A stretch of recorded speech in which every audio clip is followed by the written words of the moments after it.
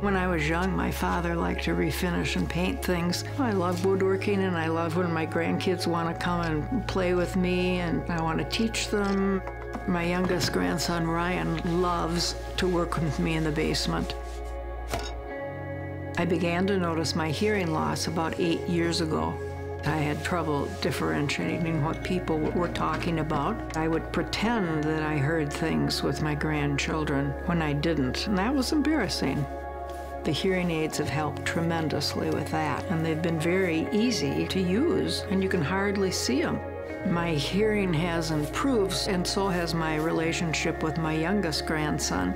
It's just much easier for the two of us to quietly communicate with one another. It's much easier now with my hearing aids.